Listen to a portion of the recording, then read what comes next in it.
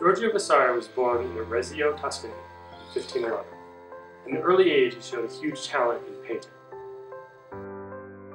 And at the age of 16, he moved to Florence, where he studied under Bartolomeo Bandinelli. It is said that Bandinelli was happy to have Vasari as a pupil, even though the pupil would quickly outshine the master. Despite Bandinelli having many students and him not having much time to dedicate to Vasari's education, Vasari's talents flourished, and after only two years with Bandinelli, Vasari moved to Rome. While in Rome, Vasari studied the works of Raphael and others from the High Roman Renaissance. Vasari worked in a style called Mannerist painting, but it is evident that he draws heavily from the works of other great masters. Giorgio Vasari received many commissions from the Medici family, who were at the time the most powerful family in Italy. Medici commissioned him to do such works like the Great Hall of Palazzo Vecchio and the ceiling of the Duomo in Florence.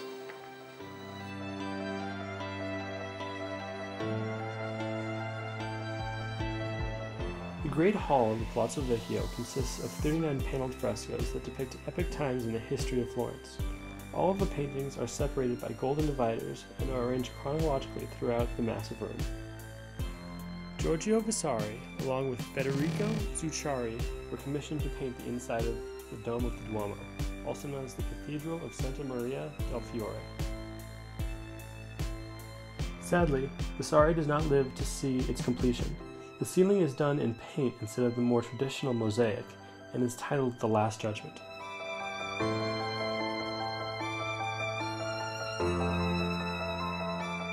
Unlike many of the artists of his time, Vasari became very well respected and wealthy. In 1547, he built a home for himself in his hometown of Arezzo, Italy.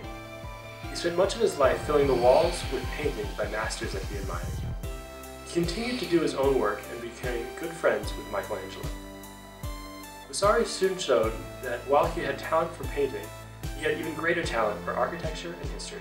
Vasari was approached by a friend named Paolo Giovio to create the first art history book. Vasari liked the idea, and in 1550 the first edition of The Lives of the Most Celebrated Painters, Sculptors, and Architects was published. It is known as The Lives for short. The book contained the most complete and well-written accounts of some of the greatest artists of the Renaissance. Because of this, Giorgio Vasari is known as the first art historian. In 1564, Vasari was commissioned by the Grand Duke of Tuscany, Cosimo I, to build a passageway that would come to be known as the Vasari Corridor.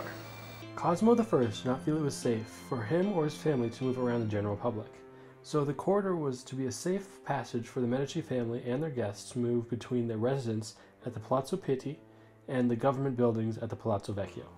The Vasari corridor is an overhead passageway that goes from the western gallery of the Palazzo Vecchio heads towards the Arno River.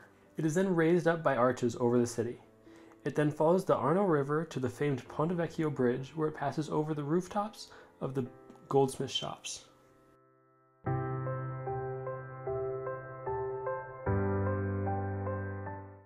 On the other side of the Arno River, it passes through the Church of Santa Felicia. Finally, it passes down the rooftops and branches with two exits, one in the Boboli Gardens and the other near the apartments in Palazzo Pitti. At the time that the corridor was being built, the Ponte Vecchio Bridge was home to butcher shops and meat markets. However, Cosimo I was disturbed by the smells that hit his nose whenever he passed through the corridor, so he had them all relocated and replaced with jewelry stores and goldsmiths that still exist today. Today, the Vasari corridor is owned by the Florence Museum and is used as a storage of sorts.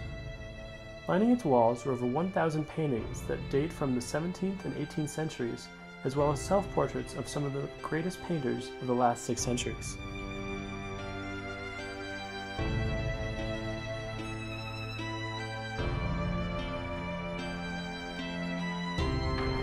The collection was started by Cardinal Leopoldo de' Medici in the 17th century and continues to receive additions to this day.